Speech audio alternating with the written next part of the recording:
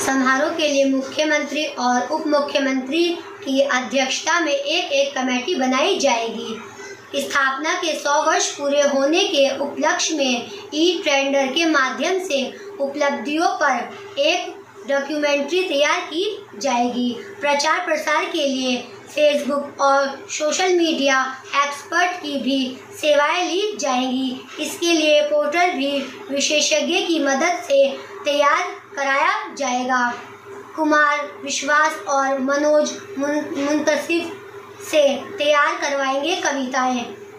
प्रयागराज शताब्दी समारोह के लिए कुमार विश्वास और अमेठी के मनोज मुंतसिफ से संपर्क कर कविता भी तैयार कराई जाएँगी। स्कूल स्तर पर पूरा छात्र सम- सम्मेलन आयोजित किए जाएँगे।